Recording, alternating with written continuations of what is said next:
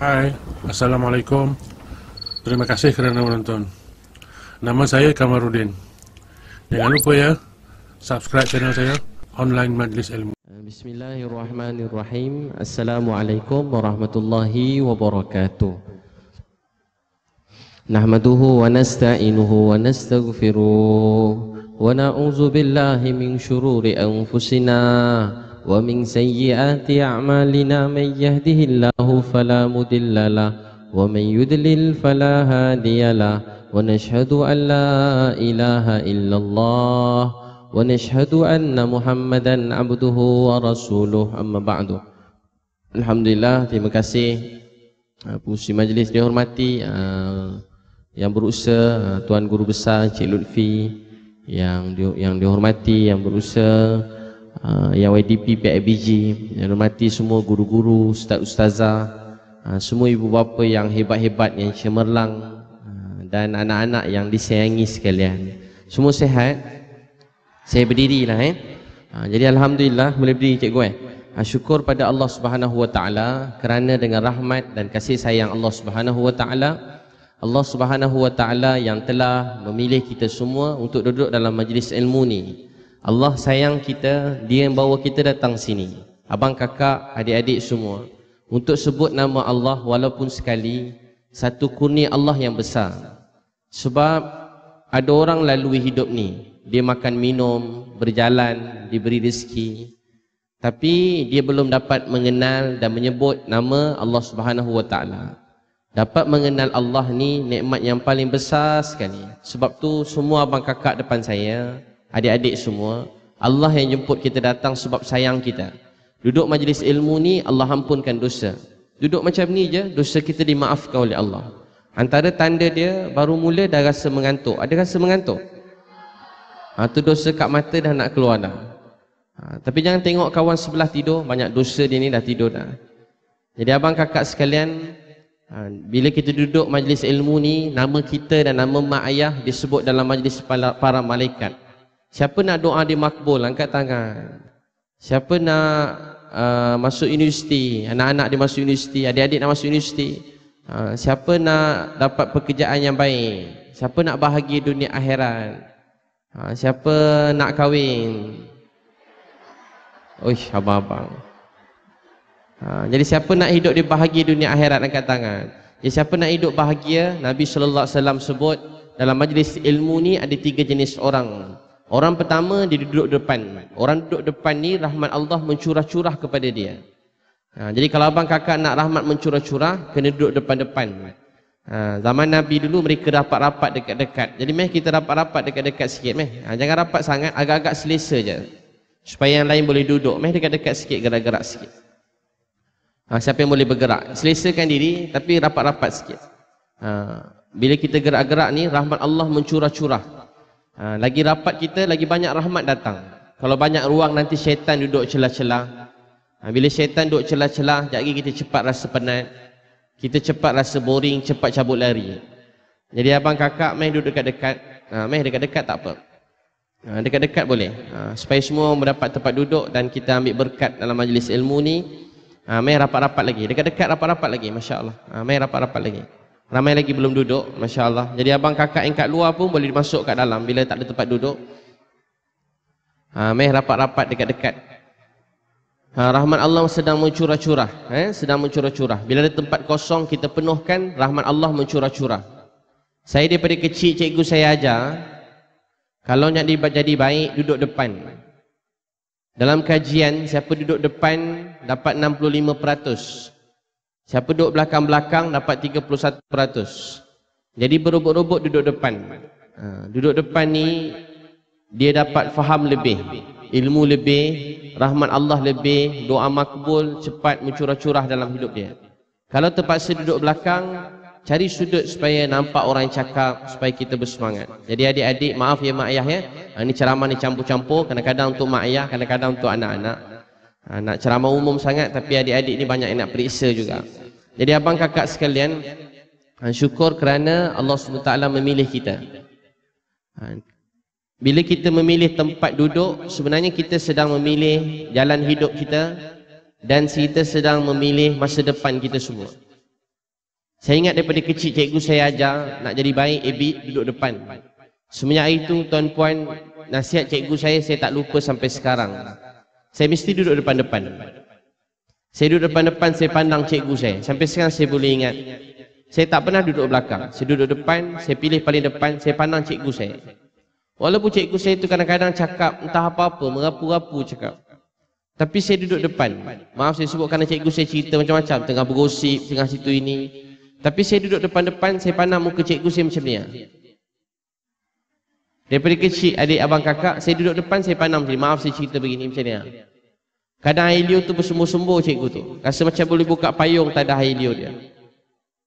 Tu tak apa lagi ada ustaz saya janggut sampai sini panjang. Jadi kalau batuk, uh, goyang-goyang janggut dia. Dia siap makan sirih masa ceramah. Dia katalah mere mutaram bayu dustu buzruko. Dunia bahut terzindagi hai. Dia kata tiba. Allah Rabbul Izzat ni karam kia, fazal kia, sari ki sari umat ko, Allah ki khalifah banaya. Or, uzupak sallallahu alaihi wasallam ki naib hai, Quran ki waris hai, ye wajah se puri umat ko zumindari hai, tiba cakap Asmanu ko Allah ni banaya, Allah kesua kui banane wala nehi. Dia perlu, saya duduk depan-depan. Kadang yang cakap tu, cikgu saya tu dia batuk. Batuk pula keluar kahak warna hijau. Saya pula duduk depan tengah macam ni dek, abang kakak. Terbang kahak, tak sempat tutup mulut. Selesai, masuk mulut. Jadi abang kakak itu antara kenangan pahit masa saya belajar. Adik eh? Uh, tak pahit jugalah, masam-masam sikit. Abang kakak, kalau kita nak berjaya bahagia dalam hidup, kita kena selalu duduk depan-depan. Selalu dengan nasihat. Orang yang suka dengan nasihat ni sifat iman. Mendengar ni sifat iman. Bila iman kita kuat, kita suka dengan nasihat.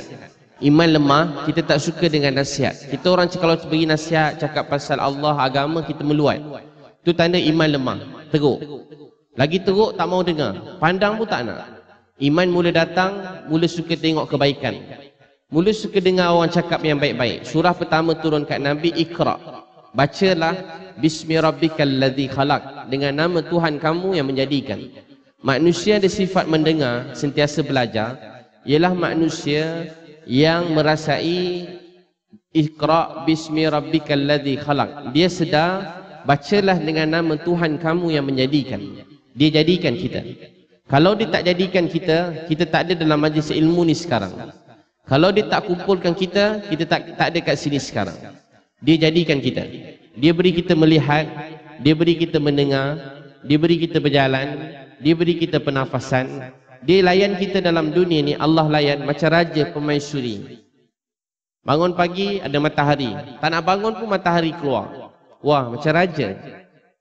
Matahari bang, bukan lampu. Bukan tirai, bukan tabir, tak. Matahari keluar matahari.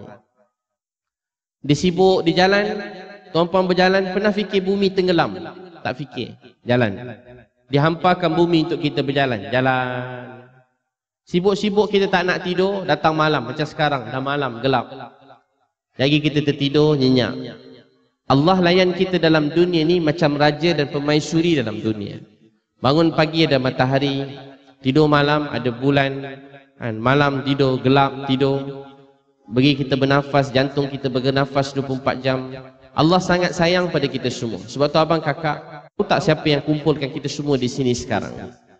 Kalau nak tahu yang kumpulkan kita ialah Allah Subhanahu wa taala. Dan Allah Maha sedang menyaksikan kita semua dan saya rasa sangat bahagia berdiri depan tuan-puan semua, anak-anak sekalian. Tahu tak sebab apa adik-adik? Tahu tak kenapa ustaz bangga dapat cakap pada awak semua? Ni anak-anak tuan-puan ni. Tahu tak sebab apa? Sebab anak-anak ni kenal siapa Tuhan dia. Siapa percaya Allah tu Tuhan dia? Angkat tangan. Tuan-puan anak-anak. Siapa percaya tiada Tuhan melainkan Allah? Turun tangan. Siapa percaya Nabi Muhammad tu Nabi? Angkat tangan.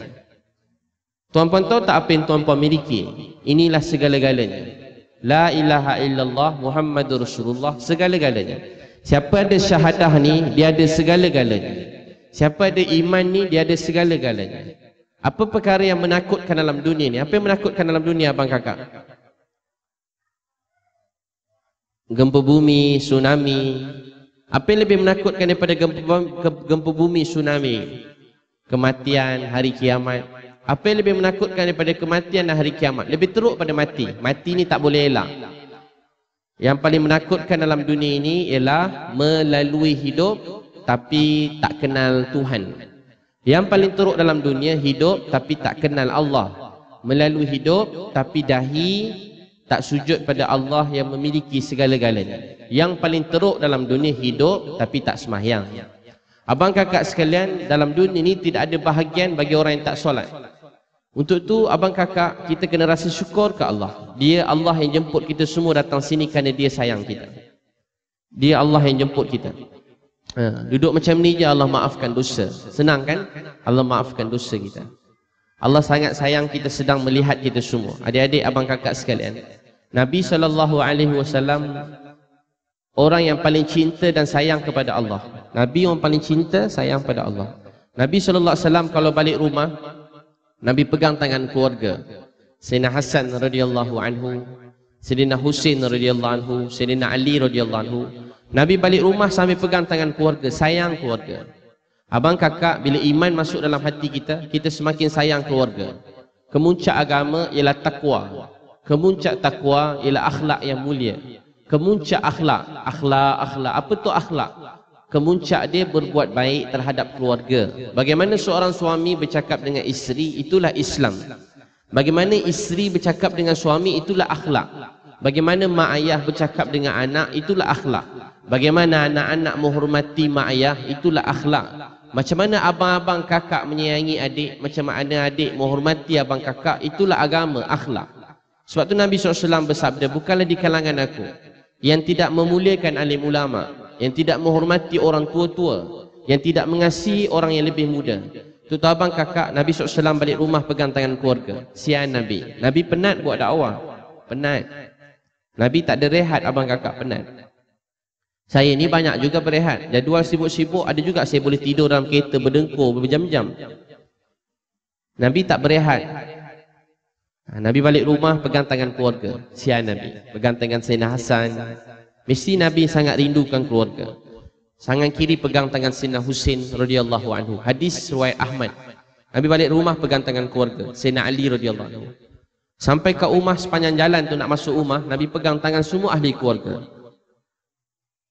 Abang kakak kalau balik rumah mula-mula beri salam, sunnah beri salam, penting beri salam. Salam mengubah hidup tuan-puan. Hadis Nabi, beri salam, rezeki mencurah-curah buat keluarga tu.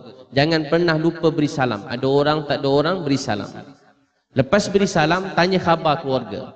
Semua sekali. Jangan seorang pun terlepas. Siapa terlepas, hati dia akan jauh daripada kita. Abang kakak tahu apa jadi? Nabi SAW balik pegang tangan keluarga. Sampai kat rumah, Nabi ambil Sayyidina Hassan, Nabi letak peha kanan. Nabi SAW cium. Nabi ambil Sayyidina Husin radhiyallahu anhu, Nabi letak peha kiri, Nabi SAW cium. Tangan kanan Nabi SAW peluk Sayyidina Ali radhiyallahu anhu, Nabi SAW cium. Tangan kiri Nabi peluk Fatimah radhiyallahu anha, Nabi SAW cium. Sambil Nabi kata, Ya Allah, saya sangat sayang keluarga saya. Ya Allah, sayangilah keluarga saya. Ya Allah, sayangilah orang-orang yang menyayangi keluarga saya. Nabi paling sayang keluarga. Tuan-tuan abang kakak balik nanti rumah peluk anak-anak, peluk mak ayah kalau ada mak ayah lagi ucap rasa sayang. Cuba tuan-tuan pegang tangan orang sebelah. Cuba tengok dulu sebelah tu boleh pegang ke tidak. Cuba pegang kiri kanan. Semua pegang. Ha, ini sambil-sambil lah bang kakak. Ini bukan amalan agama. Tapi saja nak suruh tuan-tuan ingat hadis yang saya cerita. Saja je. Ha, tak ada orang suruh buat saja saya nak suruh. Semua pegang tangan orang sebelah kiri kanan. Siapa tak pegang berdosa. Ha, nanti balik tak boleh tidur. Pegang, semua pegang. Tengok yang boleh pegang. Dah pegang dah kiri kanan. Ayah-ayah semua dah pegang. Orang sebelah kiri kanan. Dah pegang ha, pegang kiri kanan semua dah pegang baik sekarang semua kata ya Allah ha, semua ikut ya Allah kita sebut nama Allah ni kena rasa rindu rasa sayang rasa terhutang budi rasa ingin berjumpa rasa ingin berterima kasih orang bagi sesuap nasi alas tidur kita terhutang budi takkan Allah yang bagi semua sekali kita tak terhutang budi ha, cuba semua pegang orang kiri kanan dah pegang dah pegang kakak abang pegang tak perlu sepegang isteri-isteri kan Ha, pegang, pegang kiri kanan, pegang. Semua kata ya Allah. Ada lagi yang belum pegang. Semua sekali pegang kiri kanan. Yang ha, jual buku tak pegang juga. Pegang kiri kanan. Semua kata ya Allah. Saya sangat sayang keluarga saya. Ya Allah, sayangilah keluarga saya. Ya Allah, sayangilah orang-orang yang menyayangi keluarga saya. Nabi balik rumah kata, Ya Allah, saya sayang keluarga saya. Ya Allah, sayangilah keluarga saya. Ya Allah, sayangilah orang-orang yang menyayangi keluarga saya. Nabi sayang kat keluarga. Abang kakak, kalau kita rasa sayang, tengok mak rasa sayang. Tengok ayah rasa sayang. Tengok anak rasa sayang. Masa tu rahmat Allah mencurah-curah kat kita. Ha, pegang tangan ni dosa berguguran. Banyak dosa dah keluar kan? Ada rasa dosa orang sebelah? Dia kalau dah mula rasa dosa orang, maknanya dah teruk dah. Dia nampak semua orang berdosa je terus sekali. Ha, tu dah teruk. Orang baik bukan nampak dosa orang. Orang baik nampak dosa diri sendiri. Baik, semua boleh lepas tangan tu. Ha, sekarang pegang orang sebelah pula. Pegang seorang je, menghadap seorang. Seorang menghadap seorang. Kalau suami isteri, menghadap ke isteri dia sebelah. Dah. Dah pegang tangan, berdua. Berdua atau bertiga. Dah pegang. Ha, ha, pegang tangan. Pegang tangan dua belah, kiri kanan. Ha, sambil pandang dia, cakap.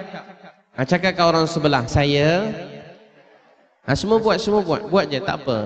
Ha, sekali-sekala kakak. Kan? Ha, pada orang sebelah cakap saya, sayang awak kerana Allah. Semoga kerana Allah, awak sayang saya, Allah bertambah sayang pada awak. Sekarang ni, Allah yang temukan kita. Dia sangat sayang pada kita. Dia tengah tengok kita sekarang. Masa kita ingat dia Dia ingat pada kita Masa kita lupakan dia Dia tetap ingat pada kita Masa kita ingat Allah Allah ingat kita Masa kita lupakan Allah Allah tetap ingat pada kita Masa kita ingat Allah Allah ingat kita. Masa kita lupakan dia Dia Allah tetap ingat kita. Awak sekarang ni Allah tengah tengok kita. Dia sangat sayang kita. Dia beri awak Islam sebab dia sayang pada awak. Awak ialah manusia yang paling bertuah dalam dunia sebab diberikan iman. Awak beruntung. Saya nasihat awak ni sebab alam-alam berkawan biar sampai syurga. Kalau setakat berkawan dalam dunia Tak ada apa-apa makna. Nanti dalam syurga Tak nampak saya Tanya ke Allah. Minta tolong cari saya. Ha, Adik kalau berkawan Abang kakak biar sampai syurga. Dunia ni sekejap je. Ha, Sekarang semua peluk orang sebelah dia tu Peluk orang sebelah dia. Doa dia 10 saat Doa dia ha, Peluk tak apa peluk je Peluk orang sebelah Peluk 10 saat doakan dia. Dah peluk dah. Ha macam tu. Daripada tadi duduk sebelah, jeling-jeling je kat sebelah. Baik semua abang kakak, adik-adik, ha, duduk abang kakak, adik, ha, pandang ustaz, duduk tegak-tegak pandang ustaz eh. Adik-adik ya.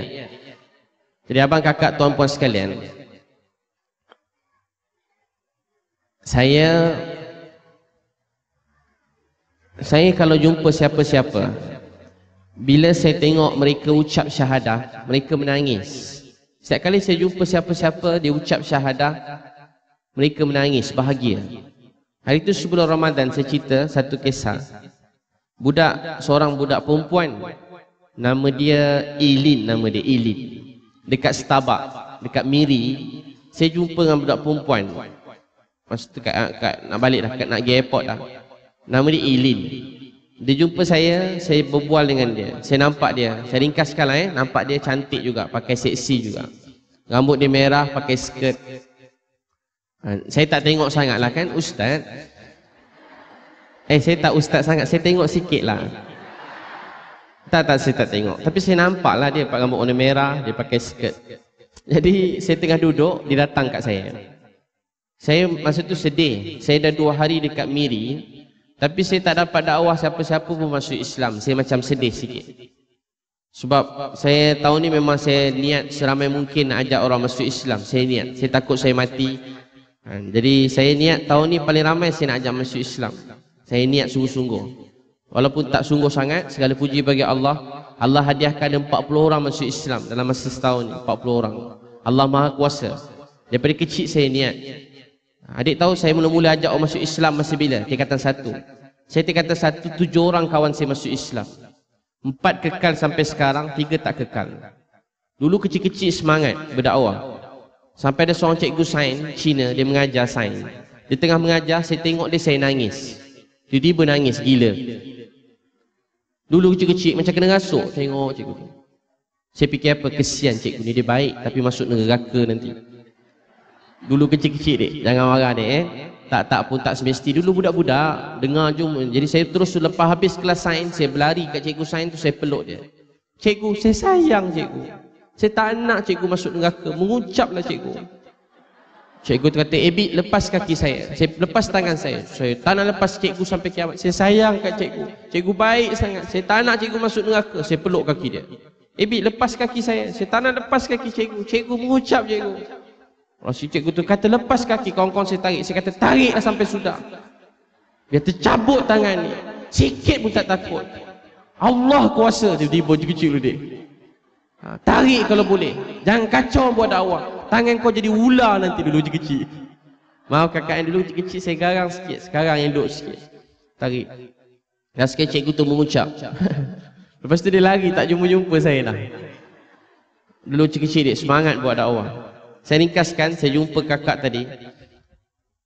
Eh adik tadi, umur 22 tahun. Tiba-tiba dia datang kat saya. Saya doa ya Allah berilah hidayah kat dia ni. Dia datang kat saya, saya tanya nama apa? Ilin. Awak agama apa? Ilin, Kristian. Awak Cina? Ha ah, eh samalah kita Ilin. Saya Cina, awak pun Cina. Awak Kristian, saya Islam. Ini nak tahu tak? Saya sayang pada awak. Walaupun saya tak pernah jumpa awak, saya tengok awak tadi, saya rasa sayang kat awak. Wah gila, mengorak terus. Saya rasa sayang awak. Ilin, saya sayang pada semua orang Kristian dalam dunia. Saya sayang dia. Saya tak tak gembira kalau mana-mana orang Kristian, orang anaya buat jahat kat dia, saya tak gembira. Ada orang Kristian mati pun saya tak gembira. Ilin, saya betul-betul daripada hati saya. Saya sayang semua orang Kristian dalam dunia ni. Saya sayang. Betul-betul kakak. Saya sayang semua Kristian dalam dunia. Ilin, saya juga sayang kepada Jesus. Saya sangat hormat dan sayang pada Jesus daripada hati saya. Saya tahu Jesus, Nabi Isa tu Jesus. Daripada kecil Jesus tu berjuang menyampaikan kebenaran kebaikan. Di sini lapar, susah, sakit menyampaikan Islam pada menyampaikan mengenal Tuhan kepada manusia. Ilin, Nabi Jesus tu sangat baik. Ilin, saya teringin nak jumpa dengan Jesus. Ilin, saya juga sangat sayang kepada Mary. Dia banyak berjuang, berkorban demi kebaikan manusia. Ilin, saya sayang hormat awak dan semua orang Kristian. Ilin, saya ustaz nak cakap ke awak sikit. Awak percaya ke tak percaya kat saya tak apa. Saya nak cakap juga kau. Ilin, dalam dunia ni agama yang terbesar ni ada dua je. Satu Kristian, satu Islam. Apa menunjukkan apa? Menunjukkan bahawa dalam dunia ni dia bukan tiba-tiba. Semua ada susu galo dia. Kristian tu antara agama yang terbesar bersama-sama Islam ni. Saya beritahu dekat dia Ilin selepas dia ada susunan dia, ada adik belajar kan, bukan tiba-tiba je. Setiap agama tu ada kitab dia. Dia dua agama yang terbesar sebab dia paling benar, paling lama dalam dunia. Kristian, lepas tu Islam. Ilin tahu tak? Selepas Jesus tu ada Nabi dia hantar. Nama Nabi tu Nabi Muhammad. Dia khataman nabiyyin. Dia penutup segala Nabi.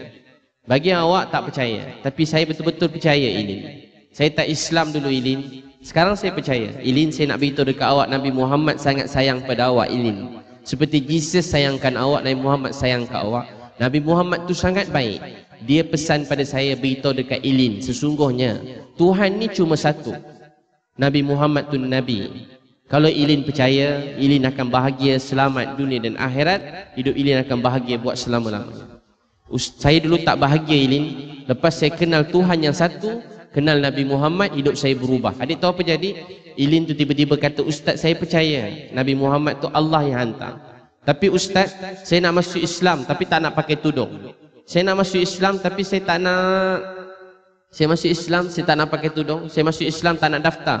Saya nak masuk Islam tapi saya tak nak berpisah dengan keluarga saya nak makan dengan mereka. Ilin, semua boleh belajar pelan-pelan. Tapi dalam hidup jangan pernah duakan Tuhan.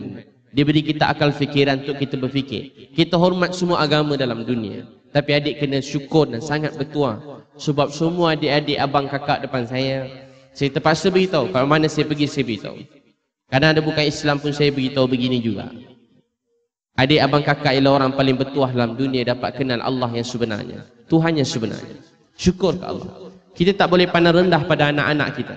Allah yang beri dia Islam. Abang kakak, Ilin tadi kata, saya kata jangan duakan Tuhan, jangan tolak Nabi Muhammad. Dia pun mengucap. Lepas dia mengucap, dia nangis. Lepas dia mengucap, dia nangis. Kawan-kawan dia pujuk dia. Dia nangis, dia rasa bahagia.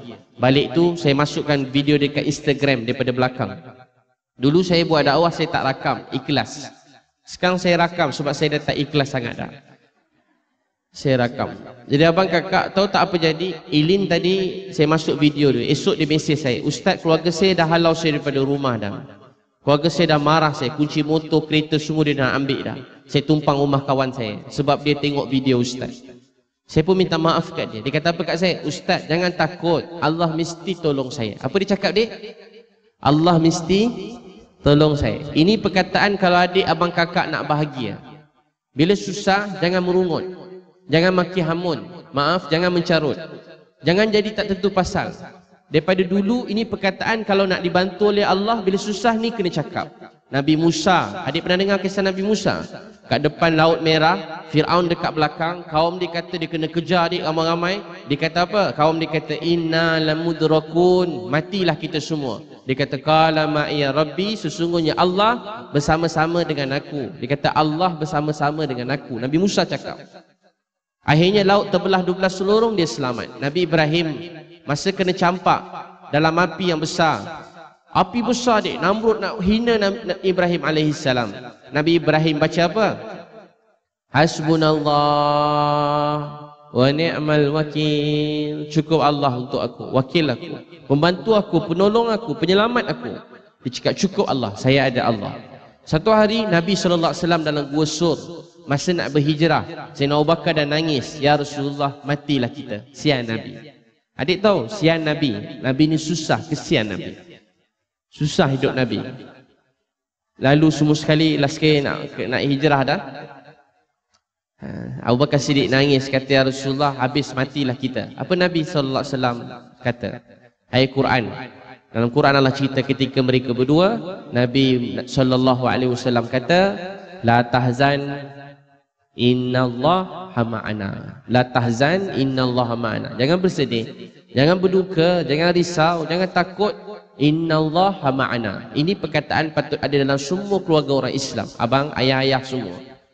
Ini kalau anak-anak kita, keluarga kita ada masalah, tak berapa, tak capai apa yang kita nak. Jangan menjerit, jangan marah, cakap. Jangan sedih nak, kita ada Allah. Beritahu ke anak kita. Jangan jangan beri dia putus harap daripada Allah. Yang kata habislah engkau mati dah hidup kau. Tak ada apa dah tinggal. Ya Allah, ini pun kau tak pandai. Apa benda lagi tinggal? Semua tak reti. Tak dah dah, dah jam berapa dah kau ni? Dah takkan dah jam ini pun tak pandai. Matilah mak macam ni. Mau marah awak dah. Matilah mak. Awak pun dah nangis-nangis dah. Lagi bapak awak datang. Ya Allah, kenapa mesin ni nak bapak ajak? Bapak bawa panggil. Tengok. Ya Allah nak berhenti je lah sekolah.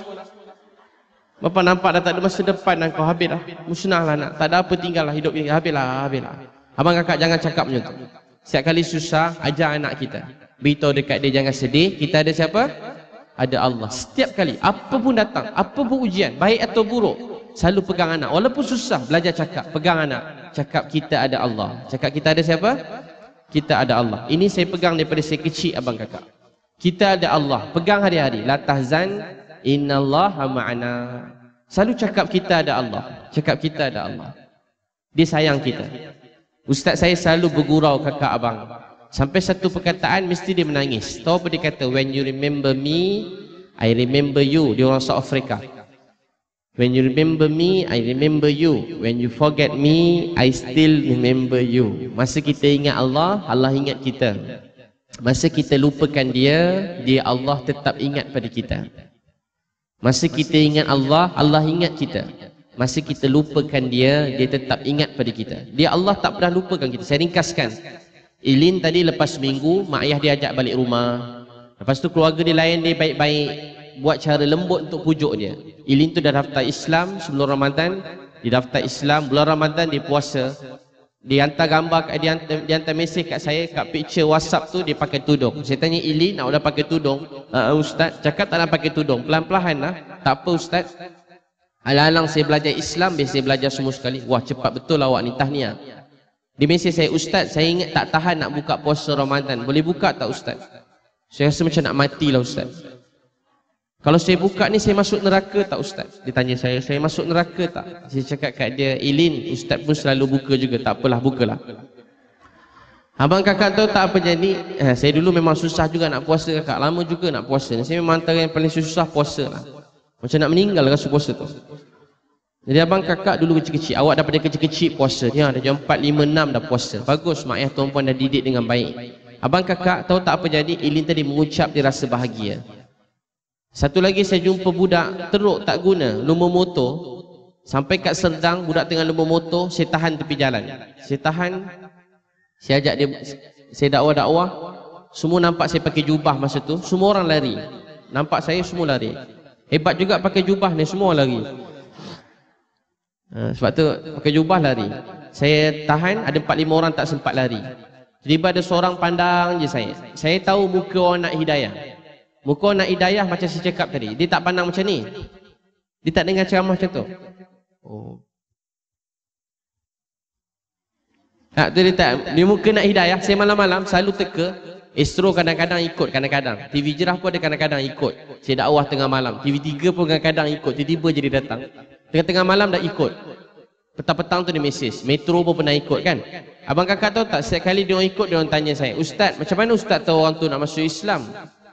Kalau saya tanya, lepas tu dia masuk Islam. Macam mana Ustaz tahu orang tu nak masuk Islam? Tahu tak macam mana? Saya cakap macam ni, saya tengah cerita-cerita, tiba kadang orang tu duduk kat tiang, dia panas saya macam ni. Dia pandang saya tak beralih-alih. Kelip mata pun kalau boleh tak nak. Saya tahu orang tu nak hidayah. Dia tengah cari apa yang kurang dalam hidup dia. Saya boleh agak. Ni dalam ceramah ni saya boleh agak juga siapa yang sungguh-sungguh. Nampak macam semua sungguh-sungguh ni. Semua nak masuk Islam kan? Eh dah semua dah Islam dah eh. Orang sini memang macam ni baik-baik semua sekali. Tengok anak-anak khusyuk dengan ceramah semua. Pandang saya daripada tadi. Tak ada yang berbual daripada depan sampai belakang. Mak ayah pun ya Allah hebat-hebat semua sekali. Mak-mak ni ha, tak betul tunduk dari tadi. Ha. Bapak-bapak pun pandang lagi seram tengok ayah-ayah pandang. Kalau mak pandang boleh kira lagi bang apa abang pandang. Dia diri abang tu. Pegang-pegang dukung anak kat belakang tadi mana ha. Abang kakak sekalian. Nak tahu tak? Ada seorang pandang saya tengah naik motor dia pandang saya macam tu. Saya, ingat kepala dia pandang. Saya pun cakap kat dia, nama awak apa? Adik, nanti semain subuh ya, jangan tinggal. Awak kalau nak bahagia, biar saya beritahu kunci bahagia. Senang ya paling amalan paling senang kalau jaga ni lagi 30 lagi 10 tahun kalau adik-adik mak ayah tak bahagia jumpa saya tanpa muka saya kuat-kuat ha, tapi saya check lah kalau ada tinggal saya tanpa balik semula lah mesti buat setiap hari semain subuh awal waktu lelaki berjemaah mak-mak berjemaah boleh kat rumah pun boleh awal waktu azan duduk atas sejadah lagi tak payah 10 tahun lah saya bagi 3 tahun tiap hari semain subuh azan duduk atas sejadah semain sunat sebelum subuh semain subuh kalau lagi tiga tahun, tak payah tiga tahun lah. Saya bagi enam bulan je. Enam bulan, abang hidup abang kakak tak bahagia semain subuh. Sebelum subuh semain sunat, semain subuh awal waktu. Kalau lagi enam bulan, hidup abang kakak tak bahagia, jumpa saya tanpa muka saya kuat-kuat. Kenapa saya berani janji banyak hadis Nabi kata. Siapa semain subuh, ni orang aku, aku jaga dia. Nabi kata. Allah beritahu dalam hadis. Pernah nak saya nak Abu Bakar Siddiq sebelum wafat, Amru Al-As minta nasihat. Kata beliau, jaga semain subuh. Siapa semain subuh, ni orang Allah. Siapa semain subuh, Allah jaga dia. Nak bahagia, kunci pertama semain subuh. Sekarang orang Islam dah tinggal semain subuh. Majoriti dah tinggal. Semain subuh ni tak berapa semayang. Kalau semayang pukul tujuh, tu semayang tu diterima. Tapi nilai dia tak sama dengan semain subuh, azan, terus semain sunat dua rakaat, semain subuh. Nak bahagia, macam ni kunci dia. Ada orang dah kaya, ada duit, dah senang. Tapi semain subuh lambat-lambat. Apa jadi dalam hidup dia? Dia tak cukup hidup dia, tak berkat. Ada tapi tak tenang. Ada tapi macam tak ada. Abang kakak tahu tak apa jadi? Budak tadi kata, Ustaz, saya bukan Islam, saya Cina Buddha.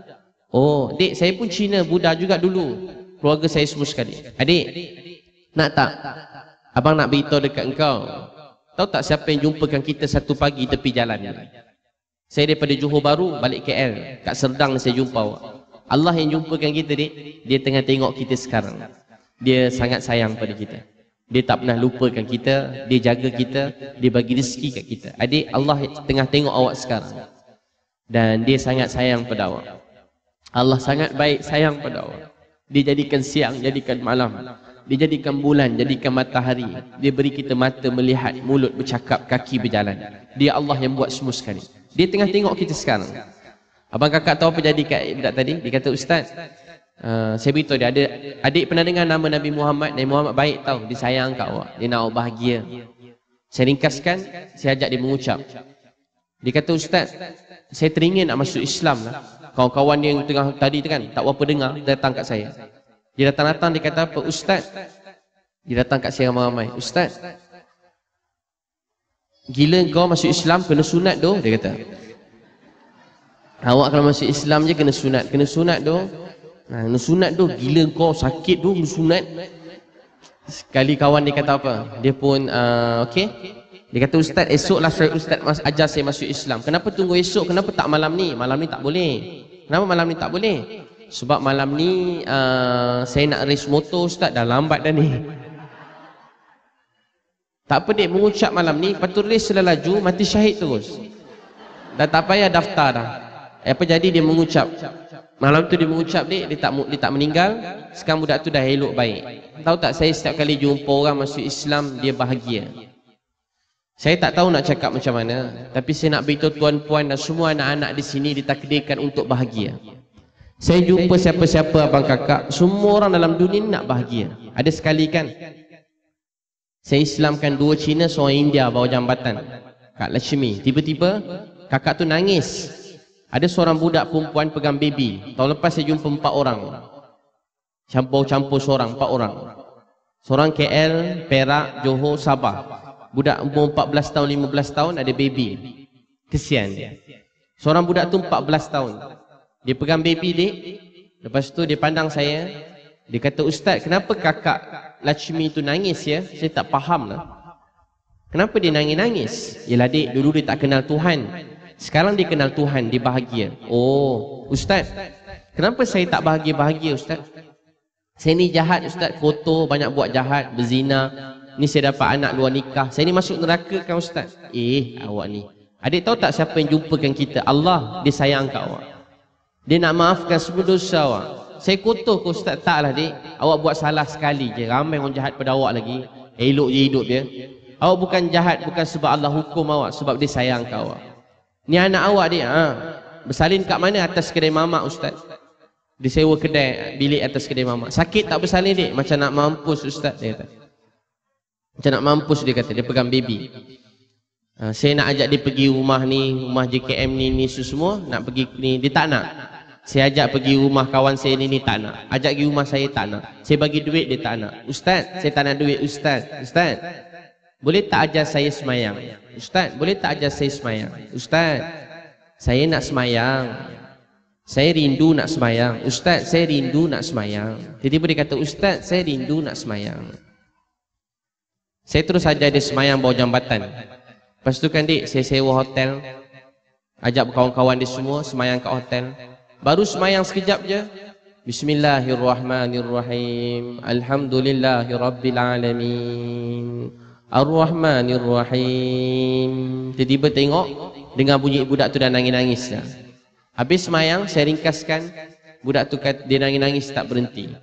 Dia kata, Ustaz, boleh tak ajar saya baca Quran? Saya nak belajar Quran, Ustaz.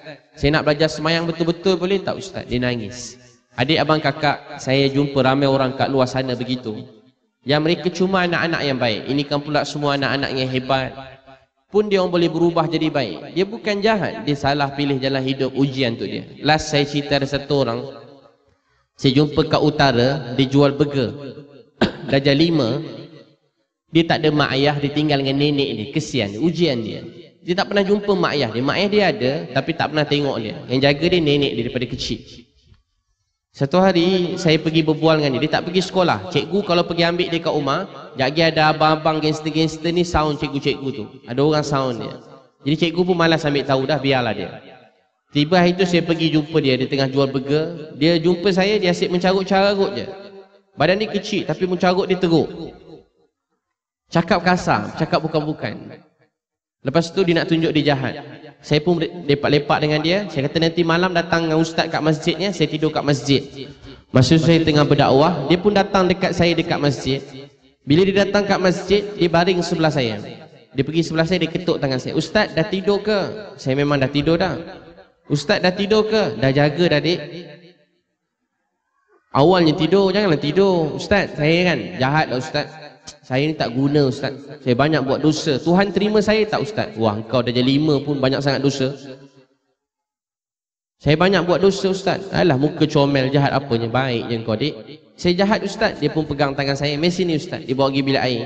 Masuk bilik air, dia tunjuk dalam bilik air tu ada ada beg, dalam beg tu ada dadah-dadah. Dia tunjuk kat saya. Saya kata, dek, bodoh betul kau ni. Ini bukan sikitnya jahat. Ini dengan kau-kau, dengan ustaz-ustaz hukum gantung malam ni. Ustaz jangan beritahu orang, saya bunuh ustaz nanti. Wah, kau kecil-kecil nak bunuh orang. Kau ingat cerita drama ke apa dia berbunuh ustaz? Lepas tu, abang, abang jangan main-main bang, abang tak kenal. Memang saya jumpa lah semua abang-abang yang bukan-bukan yang kawan dengan dia tu. Saya ringkaskan, saya dah lantas simpan di main sini kau.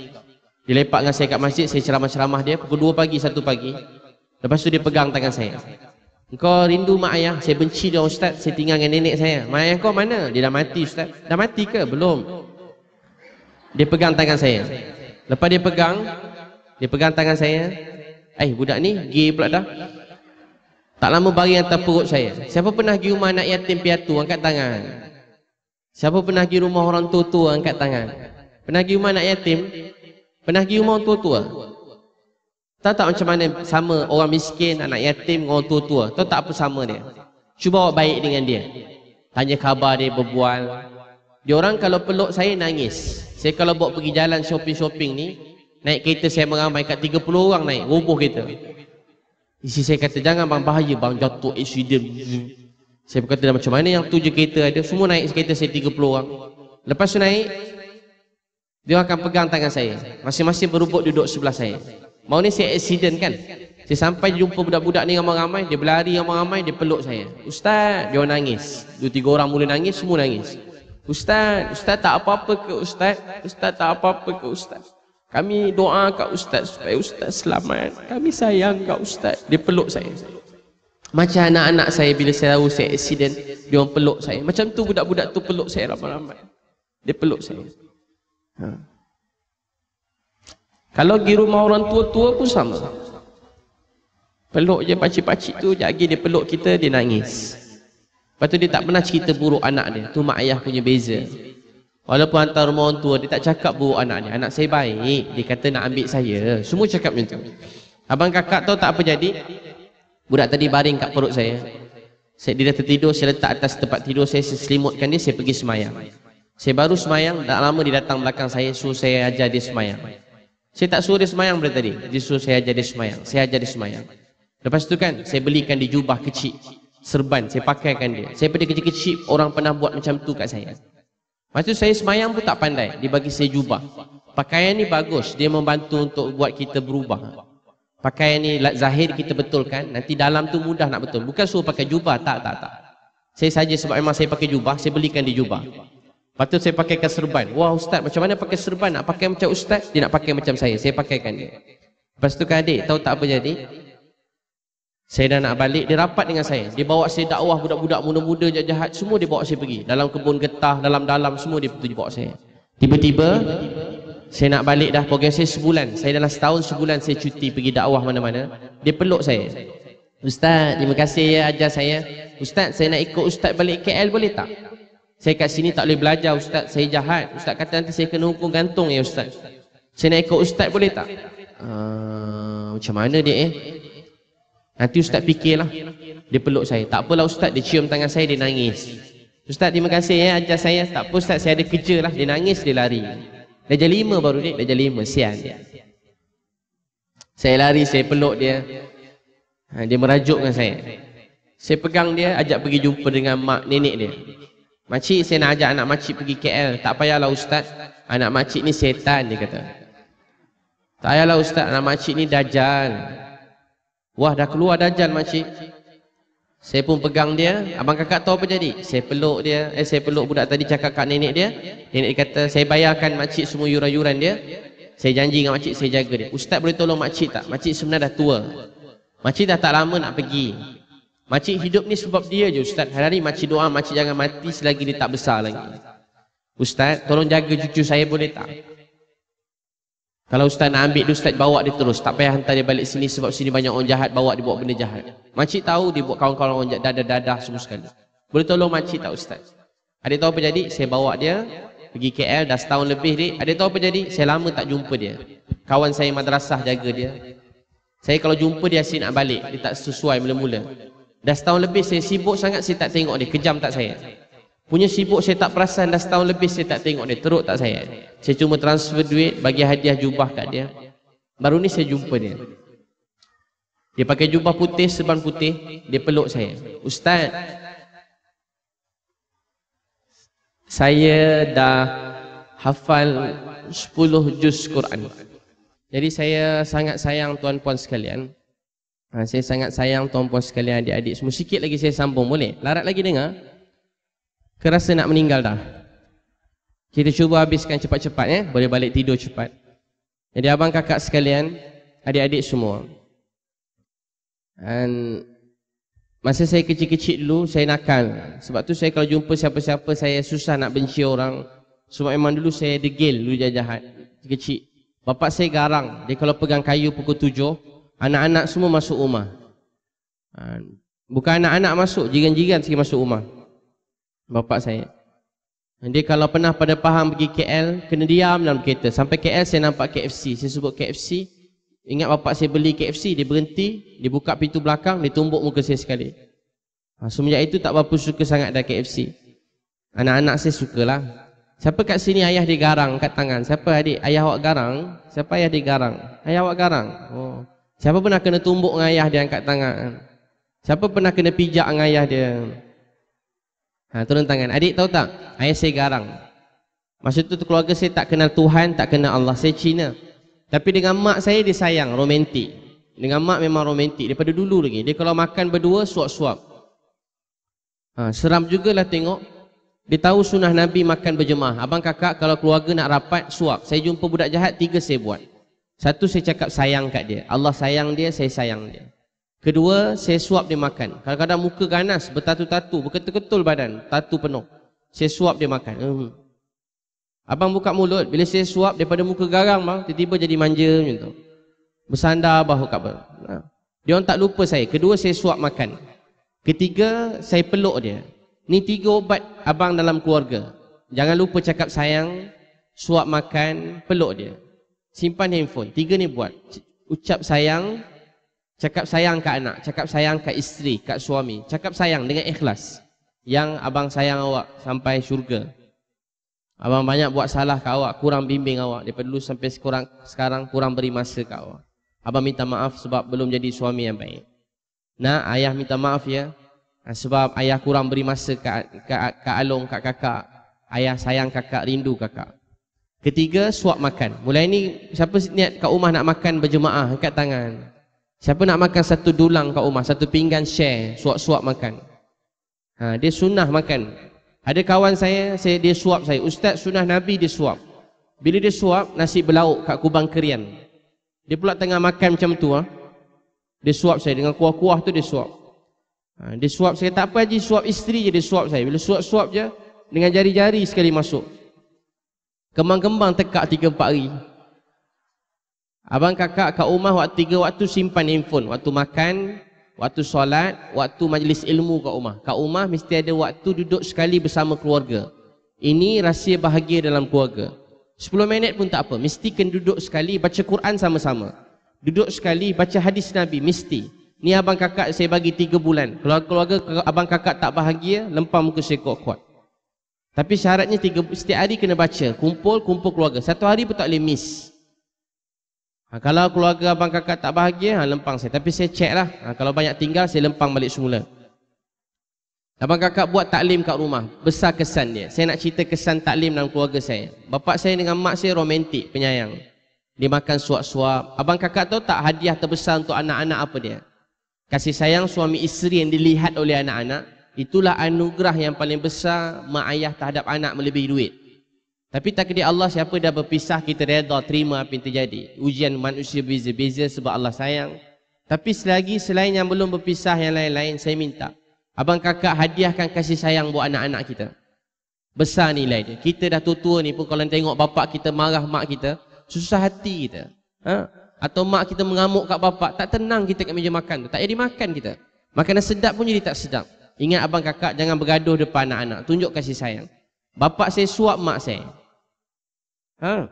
Makan berdua, berbual-bual. Mak masak, bapak saya peluk daripada belakang. Sunnah Nabi. Abang kakak buat nanti eh. Ha, dukung isteri kat belakang. Boleh buat bang? Dukung isteri, abang-abang ni. Dukung isteri. Ha, tak boleh, tapi tengok saiz lah yang lebih kurang, mana yang berat. Ha, kasih sayang, penting tunjuk depan anak-anak. Hmm, berbual, pegang tangan. Tak apa anak tengok, biar anak tengok pegang tangan tu, biar dia tengok. Hadiah untuk dia. Nanti bila besar dia tahu menghargai suami, dia tahu menghargai isteri, dia tahu menghargai keluarga. Contoh tu. Ilmu kat telinga ni dengar senang, tapi yang dia nampak kat rumah dia kata ni betul, ni Islam, ni praktikal. Biar sampai anak kita kata apa, kalau saya anak laki kata kalau saya nak wanita dalam dunia, saya nak macam mak saya. Kalau saya nak laki dalam dunia macam ayah saya. Dia pergi mana-mana dalam dunia dia nak murtad pun tak boleh dah. Sebab kasih sayang mak ayah dia. Abang kakak manusia tak kenal Tuhan kalau tak ada nabi. Nabi yang ajar manusia kenal kasih sayang Allah. Manusia kenal kasih sayang Allah Islam, as Nabi dah tak ada. Mak ayah yang kena kenalkan kasih sayang Allah dan Islam. Hari ini orang masuk Islam sebab tengok kasih sayang tu lebih cepat orang masuk Islam. Tuan-tuan abang kakak tunjuk kasih sayang pada anak-anak. Siapa insya-Allah mak ayah mulai ini nak berkasih sayang depan anak-anak dia angkat tangan. Maksud saya tunjuk kasih sayang. Jangan masam muka, jangan gaduh-gaduh, selalu senyum, tunjuk kebaikan. Jangan ada gaduh abang kakak. Saya ringkaskan ya. Bapa mak saya baik. Larat lagi dengar macam tak larat dah. Sikit lagi kan. Saya pun tengok mak saya, saya nangis. Eh tengok bapa apa? Saya pada kecil macam itulah degil. Satu hari saya pergi sekolah, ada seorang cikgu matematik bagi ceramah. Tinggal satu solat, 80 tahun dalam neraka. Saya dengar tu saya menangis tak berhenti. Saya mula fikir mak ayah saya, saya tak nak mak ayah saya masuk neraka. Saya pergi masjid ke pintu belakang. Masa itulah saya semangat pakai jubah semua sekali. Bila orang berdakwah tu balik, saya lambai dia daripada jauh. Tahu tak sebab apa? Sebab esok dah tak ada orang nak ajar saya semayang. Dah tak ada orang nak cerita pasal Nabi Muhammad. Dah tak ada orang nak cerita kebaikan pada saya. Jadi bila dia orang balik, saya nangis. Saya hari-hari kat rumah baca Quran hadis. Tengah-tengah saya baca abang kakak, mak saya datang. Tengah-tengah saya baca Quran hadis, Abang kakak tahu tak apa jadi? Dia datang dua tiga kali, dia datang pakai jubah dah. Janggut panjang pada saya lagi. Isteri pakai purdah pula. Bang, ni isteri yang mana pula ni bang? Eh, yang itu lah ustaz. Eh, berubah sangat ni bang. Bernapas ke tak isteri abang tu? Ha. Berubah pula. Eh, abang bagi makan pil apa, tiba-tiba berubah ni. Tak ustaz. Uh, isteri saya, uh, saya ajak dia belajar agama semua sekali. Saya ajak dia, saya pun faham. Saya baca buku ustaz salah satu. Sampai muka surat 6 je Ustaz. Lepas tu dia peluk saya, dia nangis. Saya banyak salah kat isi saya. Lepas dia nangis-nangis, lap hingus dia. Dia kata, Ustaz, saya baca sampai muka surat 6. Dia tak sambung-sambung dah baca lepas tu. Ya Abang Kakak kalau beli buku ni, baca sampai muka surat 6 pun okey juga. Isteriku bidadari. Ada kat tepi tu, satu lagi manzil, hadis saya Abu Daud. Saya kalau sakit, ada masalah, pertama solat hajat. Kedua baca manzil. Ketiga sedekah. Keempat cepat-cepat usaha. Saya kalau anak sakit cepat semai hajat. Dua minit, lima minit je. Lima minit baca manzil ajak keluarga sembahyang hajat manzil. Lepas tu dalam perjalanan saya transfer je duit kat keluarga atau saya bawa pergi sedekah tu tepi jalan, saya pergi hospital cepat-cepat. Alhamdulillah banyak manfaat dia untuk saya dan keluarga saya. Alhamdulillah banyak kesan dia. Abang kakak, saya kali susah buat tu dulu. Jangan tinggalkan usaha. Orang yang tak pergi hospital, tak berusaha ni bodoh, jahil. Orang tak nak pergi hospital, tak nak makan ubat, tak nak berusaha tu namanya bodoh, jahil. Tapi kalau meninggalkan amalan agama sesat, dua-dua perintah Allah. Berusaha perintah Allah, berdoa perintah Allah. Akhirnya menyembuhkan yang menyelesaikan masalah kita siapa dia? Allah SWT. Jadi abang kakak ni nampak tak buku-buku ni? Ha, dia jual kat tepi tu. Kalau beli semua dia ada diskaun. Satu tu RM30 ke berapa? Ha, buku doa kecil ni RM5. Ada kat tepi tu. Ha, boleh dapatkan. Ha, kalau saya sempat saya sign lah. Tapi ramai ni saya pilih-pilih nanti ya. Kalau sempat je. Baik abang kakak terima kasih semua sekali. Dah lewat dah. Kita jumpa lagi. Kita doa sama-sama. Mudah-mudahan salah seorang kita yang ikhlas. Allah SWT terima kita semua. Kita maaf salah silap ya. Ha, malam ni saya banyak gurau-gurau sikit, cerita pasal diri saya banyak sikit sebab saya dengan anak-anak selalu macam tu lah. Ha, saya minta maaf ya ha, dengan mak ayah sekalian kalau ada yang terguris hati, salah cerita. Ha, tuan-puan ni saya minta maaf banyak eh semua salah saya sendiri. Bismillahirrahmanirrahim. Alhamdulillahi Rabbil Alamin Wassalatu wassalamu ala ashrafil anbiya mursalin Wa ala alihi wa sahbihi ajma'in Ya awal al-awwalin يا آخر الآخرين يا ذا القوة المتين ويا راحم المساكين ويا راحم المساكين ويا راحم المساكين ويا راحم المساكين. يا أرحم الراحمين يا أرحم الراحمين يا أرحم الراحمين. اللهم صل على سيدنا محمد النبي أمي وعلى آله وصحبه وبارك وسلم Ya Allah, Tuhan kami yang sangat sayang kami. Tak ada siapa yang pernah sayang kami. Seperti mana engkau sayang kami. Ya Allah yang maha melihat yang sedang menyaksikan kami Yang maha mendengar yang sedang mendengar kami Ya Allah terima kasih sayang kami Masa kami ingat engkau ya Allah kau ingat pada kami Masa kami lupakan kau kau tetap ingat pada kami Ya Allah masa kami ingat engkau kau ingat kami Masa kami lupakan kau kau tetap ingat pada kami Ya Allah masa kami ingat engkau kau ingat kami Masa kami lupakan kau kau tetap ingat pada kami Ya Allah kami minta maaf sebab selalu lupakan kau. Ya Allah, terima kasih sayang kami beri kami Islam. Kalau tak kami, tak tahu apa jadi hidup kami sekarang. Ya Allah, terima kasih sayang kami. Ya Allah, terima kasih beri kami Islam. Kami sayang mak ayah kami, kami rindu mak ayah kami. Ya Allah, ampun dan kasih sayangilah mak ayah kami. Sebagaimana mereka mengasihi dan menyayangi kami semenjak kami kecil. Ya Allah, kami sayang keluarga kami semua sekali ya Allah anak-anak kami, isteri kami, suami pasangan hidup kami ya Allah.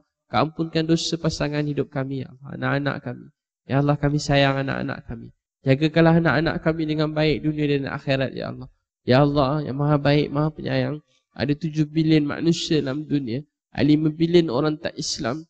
Kami tak sempat nak sampai ke Islam pada mereka semua. Maafkanlah kami. Ya Allah ada lima bilion orang belum Islam. Eh, mereka datang pada Islam. Ya Allah zaman Nabi tak berhenti orang masuk Islam. Kampung demi kampung, negeri demi negeri, negara demi negara. Ya Allah zaman kami tak ramai orang masuk Islam. Maafkanlah kami. Kami tak pandai nak buat dakwah ni. Maafkan kami. Ya Allah kami tak sungguh-sungguh buat dakwah ni. Maafkan kami. Abang kakak kami yang belum Islam, berhidayah datang pada Islam. Pakcik-makcik kami yang belum Islam, berhidayah datang pada Islam. Keluarga kami yang belum Islam, berhidayah datang pada Islam. Ya Allah, kami sedih tengok orang kami sayang mati tanpa Islam. Ya Allah kami tak boleh beri hidayah pada siapa yang kami nak. Engkau yang beri hidayah pada siapa yang kau nak. Ya Allah yang maha baik, maha penyayang. Ya Allah terima kasih sayang kami jaga kami selama ni. Ya Allah ampunkan dosa pasangan kami, isteri kami, suami kami. Ya Allah kami sayang pasangan hidup kami. Kami kurang bimbing mereka, tak tak kami tak jadi suami yang baik, pasangan yang baik. Kau maafkanlah kami. Ya Allah, jagakan anak-anak kami semua sekali, Ya Allah. Ya Allah, yang maha baik, yang maha penyayang. Banyak anak-anak muda kami jumpa, ramai dah tak semayang. Bila kami pergi bawah jambatan, tepi jalan, sekolah-sekolah, kolej-kolej, universiti. Banyak anak-anak muda kami yang kami jumpa setakat ni, Ya Allah. 50 orang kami jumpa. Kami nak cari 5 orang yang semayang pun susah. Ya Allah, kami tak tahu nak buat apa. Maafkanlah kami. Tolonglah kami, Ya Allah. Kami tak tahu nak buat apa. Anak-anak muda kami tak semayang. Kami tak tahu nak buat apa. Maafkanlah kami. Tolonglah kami. Tunjuk ke kami. Maafkan kami. Kami tak pandai buat dakwah. Ya Allah maafkanlah kami. Beri hidayah semua anak-anak muda kami semayang. Anak-anak kami ya Allah. Beri mereka dapat semayang ya Allah. Anak-anak kami beri mereka dapat jaga solat lima waktu. Dapat berakhlak dengan akhlak Quran. Berakhlak dengan akhlak Nabi. Ya Allah. Maafkanlah kami ya Allah. Kami tak tahu berapa baki masa kami yang tinggal. Tapi kami tak sungguh-sungguh menghidupkan Islam dan menyebarkan dakwah ni. Maafkanlah kami. Ya Allah kami tak tahu nak buat apa. Tolonglah kami ya Allah. Tolonglah kami. Kami tak pandai nak buat dakwah ni. Maafkanlah kami. Tolong kami. Minta maaf ya Allah. Minta ampun ya Allah. Kami tinggalkan dakwah ni. Tak sungguh-sungguh sampaikan Islam ni. Maafkan kami ya Allah. Tolong ya Allah. Beri semua anak-anak muda kami semayang ya Allah. Kami sayang mereka. Mereka semua anak-anak muda yang baik-baik Kami tak tahu apa kami nak buat Selamatkanlah anak-anak muda kami Ya Allah selamatkanlah anak-anak muda kami semua sekali Kami tak tahu apa kami nak buat Ya Allah tolonglah Ya Allah Ya Allah yang maha baik, maha penyayang Sedang kami makan kenyang Tidur lena ada orang miskin, anak yatim yang susah Berilah kami dapat bertemu dengan mereka dan bantu mereka semua sekali. Ya Allah bantulah orang miskin anak yatim dalam dunia ini. Ya Allah bantulah orang miskin anak yatim dalam dunia ini. Maafkan kami ya Allah. Kami makan kenyang tidur lena. Ada orang-orang lapar tak ada tempat tidur makan minum. Maafkan kami ya Allah. Ya Allah banyak anak-anak kat luar sana mereka tak ada mak, tak ada ayah, tak ada abang, tak ada kakak, tak ada adik. Tak ada siapa-siapa yang benar-benar ikhlas sayang mereka. Ya Allah temukanlah kami dengan mereka semua untuk bantu mereka semua. Ya Allah maafkanlah kami. Banyak orang-orang di lorong-lorong yang jahat-jahat di tepi-tepi jalan. Mereka rindu untuk kami nasihat dan bimbing mereka. Ya Allah kami tak sempat nak jumpa mereka. Maafkanlah kami ya. Kami tak sempat nak didik bimbing mereka. Maafkanlah kami. Ya Allah kalau kami mati pergi dulu. Kau maafkanlah kami ya Allah. Jangan marah kami ya Allah. Kalau kau tolak kami, kami tak tahu mana kami nak pergi. Ya Allah, tolonglah maafkan kami. Ya Allah, kalau hari ini hari tak akhir dalam hidup kami, kami pohon kau maafkan kami. Jangan marah kami, jangan tolak kami. Sebab kalau kau tolak kami, kami tak tahu mana kami nak pergi. Kami buat ni semua semenjak kecil dulu. Kami cuma nak kau sayang kami. Ya Allah, tolonglah sayang kami, terima kami. Ya Allah yang maha baik, maha penyayang. Bantulah orang miskin, anak yatim. Orang-orang yang antara kami yang sakit, kanser sakit lumpuh, sakit-sakit yang berat keluarga kami dengan rahmatmu malam ni ya Allah. Sembuhkan, sihatkan. Buat kawan-kawan kami yang belum bertemu jodoh, temukan jodoh yang baik. Belum ada anak-anak, buat kawan-kawan kami temukan, beri mereka anak yang soleh-soleha. Buat anak-anak kami yang UPSA, beri mereka cemerlang dapat 6A. Beri mereka dapat putusan yang paling baik. Beri mereka semangat sebulan ni. Belajar bersungguh-sungguh dan tidak putus asa. Bantu kami untuk bantu anak-anak kami semua. Ya Allah rahmatilah cikgu-cikgu, guru-guru yang banyak bimbing kami. Banyak cikgu-cikgu kami dah meninggal dunia, kami rindu dengan mereka. Ya Allah, cikgu-cikgu kami yang dah meninggal dunia. Hadiah kami ke syurga Fidaus. Anak isteri, keluarga yang mereka tinggal, jaga dengan baik. Sebab kami tak dapat bayar jasa cikgu-cikgu kami yang banyak bimbing kami. Mereka banyak bimbing kami. Ya Allah, jaga ampun ke semua cikgu-cikgu, guru-guru, ustaz-ustaz, alim ulama yang banyak bimbing kami. Kami sayang semua cikgu-cikgu, guru-guru, ustaz-ustaz, alim ulama yang bimbing kami. Eh, kau jagakan keluarga mereka bahagiakan berkat ke rezeki guru-guru kami ya Allah. Ya Allah kami sayang cikgu-cikgu kami. Kami malu dengan mereka kadang-kadang ilmu yang mereka ajar. Tak semua yang kami dapat amalkan. Kami minta maaf, tak ampun ya Allah. Ya Allah kali pertama kami dengar nama ni, kami semua rindu dan menangis teringin berjumpa dengan beliau. Daripada dulu sampai sekarang, hari-hari kami bercerita pasal beliau. Kami teringin nak jumpa dengan beliau. Ya Allah, temukanlah kami semua dengan manusia kami jatuh cinta dengan beliau. Nama beliau adalah Nabi Muhammad wasallam. Ya Allah, kami tak pernah terfikir dalam dunia ni ada orang yang sebaik beliau. Ya Allah, temukanlah kami semua dengan Rasulullah SAW.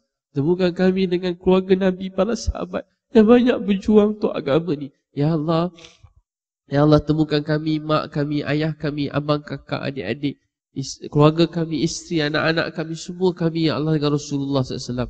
Ya Allah, Nabi kami sakit, susah, kesian Nabi kami, Ya Allah. Nabi kami berjuang siang malam untuk sampai ke Islam pada kami. Kesian Nabi kami siang malam berjuang untuk tunjuk betapa mahalnya Islam.